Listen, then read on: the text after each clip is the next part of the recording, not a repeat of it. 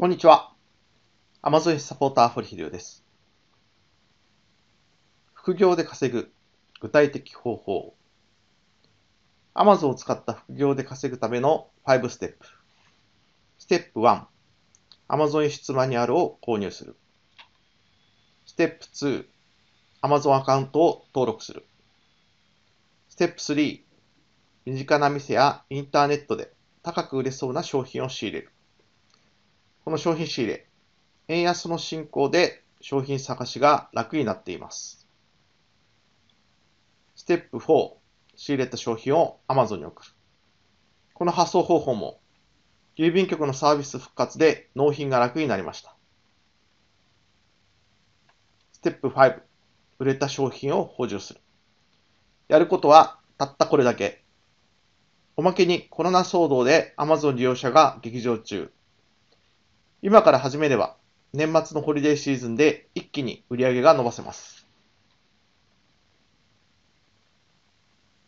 オーストラマゾンの売り上げ30日間で16,805ドル。この会員さん、え今は2万ドル、え突破してます。まあ、成果報告してくださいっていうね、え記事に答えてこの売り上げを報告してくれました。また別な会員さんの売り上げ1万ドル。オーストラリア1万ドルなんですけど、この会員さんはアメリカもやってまして、アメリカは5万3000ドルと。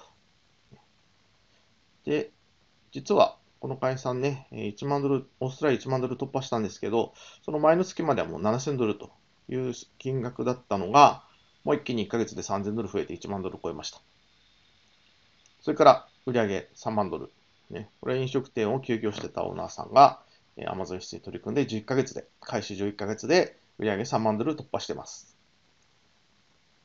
何しろ、12月のホリデーシーズンを控えて、円安は進んでいる。そして輸送方法、郵便局のサービスは復活したということでね、今本当に潜在一遇のチャンスで、今、オーストラリアマゾンを始めれば、簡単に商品が見つかり、すぐに売れて儲かってやる気が継続して、年末のホリデーシーズンで一気に売り上げが伸びるというね、まあ、非常にいいタイミングなんで、まあ、この機会にオーストラリアアマゾン室マニュアルを申し込んで、まあ、Amazon 室を始めてみてください。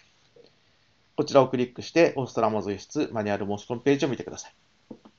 なお、今動画で見てる方はね、動画のこの部分をクリックしても、えー、申し込みページに行かないので、動画の説明欄にある URL をクリックして申し込みページを見てください。Amazon サポーター、堀秀夫でした。